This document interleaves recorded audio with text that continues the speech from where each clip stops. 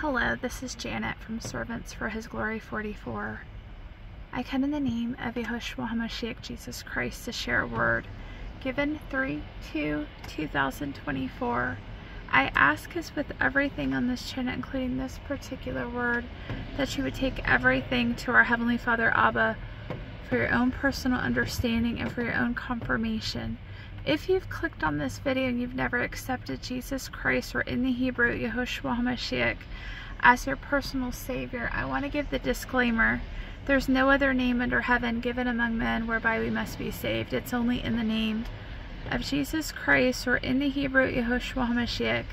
And you can find this particular verse in the book of Acts, chapter 4, verse 12, in the Holy Scriptures.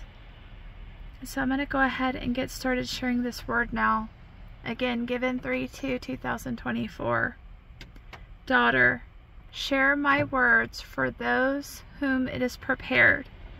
Yea, my child, you who has been led to this specific message at this specific time. What do you dream about? Adventure? Fame? Fortune? Prestige, City Lights, Broadway, The Big Apple. The Big Apple is rotten at its core. Seek not its ways. Return to me.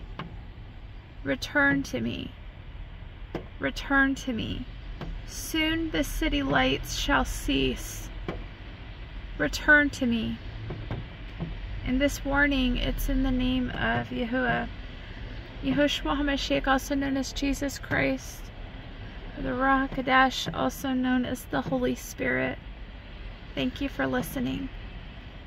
Take care. Bye.